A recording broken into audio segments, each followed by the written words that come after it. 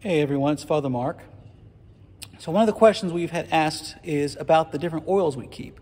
So I thought I'd come over here to the Ambry. You can see the Ambry here. And you can see down here we have the three oils that we use. Now these oils are blessed every year by the bishop. We get all new oils at the Chrism Mass. And this past year, because of COVID, of course, they had to send them to us uh, because we couldn't get together for the, the, the Chrism Mass. Normally all the priests in the diocese try to show up for that. But any rate, we have the three oils here, so I thought I'd show them all to you. And this is going to be interesting because I'm working backwards so you can see everything. So, all right, so the first oil we have here, this is the oil of catechumens. You can see this oil, it's they're all olive oil, by the way. All three oils are, are olive oil.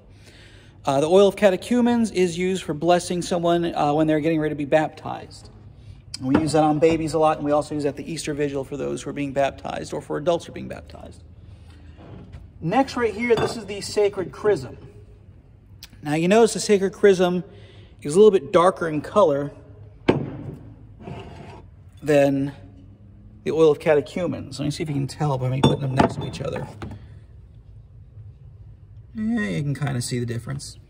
At any rate, the sacred chrism is a little bit darker because the sacred chrism actually has uh, perfume mixed into it. Uh, and that gives it a distinctive odor and, and scent. It's actually very nice. Um, but this, the sacred chrism is what we use for the different sacraments. We use it for anointing the baby uh, after, or the adult, whichever, after baptism. We, we anoint them with a crown around their head. Uh, we anoint uh, the palms of those who are being ordained priests. I had the oil uh, put into my palms when I was ordained a priest. And so did Father Martin and all the other priests and bishops. Uh, finally, right here we have the oil of the sick. And the oil of the sick is what we use when we give you the sacrament of the sick.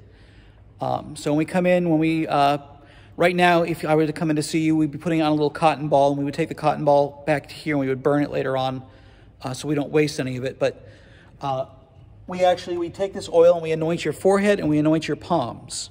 And the only people who don't get their palms anointed are priests because our palms get anointed for holy oil uh, order. So when we get anointing of the sick, they anoint the tops of our hands. Uh, but those are the different oils that we have here inside of what is called the ambry. Is what contains it. Uh, actually, it was kind of neat because when we were building this, I got to design the whole thing and, and give them the measurements and calculations and all that. So those are the sacred oils, and I hope that that uh, explains a little more to you. Thank you all, and God bless you. Talk to you soon. Bye-bye.